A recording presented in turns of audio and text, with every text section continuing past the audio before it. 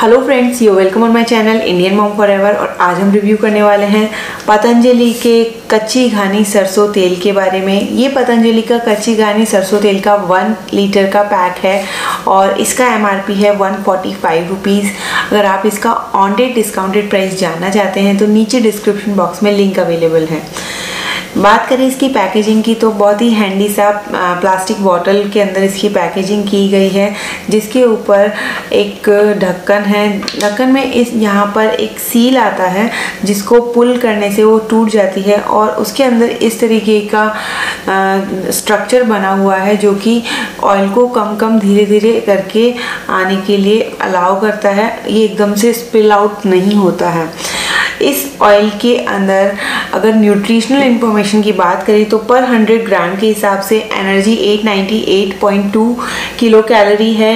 Total fat की अगर हम बात करें तो 99.8 ग्राम फैट है। कोलेस्ट्रॉल ज़ीरो मिलीग्राम है। विटामिन ई 32.11 मिलीग्राम है।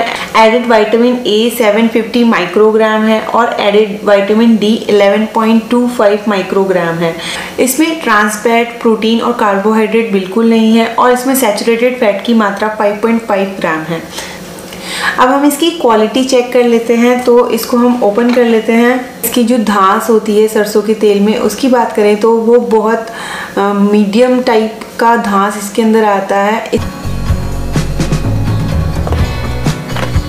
इससे पहले हमने धारा कच्ची घानी मस्टर्ड ऑयल का रिव्यू किया था। उसके अंदर जो धांस आती है, वो बहुत तीखी और तेज़ धांस होती है, जबकि इसका जो स्मेल है, वो कम पंजेंट और कम इंटेंसिटी का है। और अगर कंसिस्टेंसी की अगर हम बात करें तो इस ऑयल का कंसिस्टेंसी धारा कच्ची घानी मस्टर्ड ऑयल के कंपैरिजन में थोड़ा सा लाइट है थोड़ा सा पतला है। जब सरसों के तेल से त्वचा की मालिश की जाती है तो उसमें हल्की सी आपको तीखापन महसूस होता है उस सरसों के तेल की वजह से, जबकि इसके अंदर आपको वो तीखापन नहीं महसूस होता है। ये आपको नॉर्मल ऑयल की तरह ही लगता है और आप इसको स्किन पर आराम से मालिश के लिए यूज़ कर सकते हैं। बिल्कुल भी जलन जैसा आपको एहसास इसमें नहीं होता है। पतंजलि के इस मस्टर्ड ऑयल को जब हमने रेफ्रिजरेटर में रखा तो इसकी कंसिस्टेंसी में ज़्यादा कुछ बदलाव नहीं आया।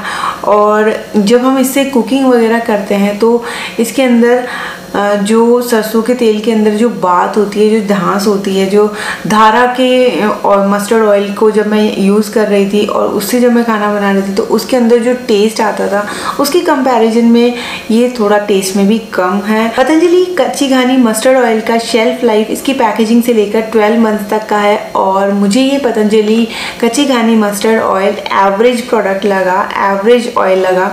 आपको ये वीडियो कैसा लगा ज़रूर बताइएगा। And please like share and subscribe my channel फिर मिलते हैं नेक्स्ट वीडियो में तब तक के लिए बाय बाय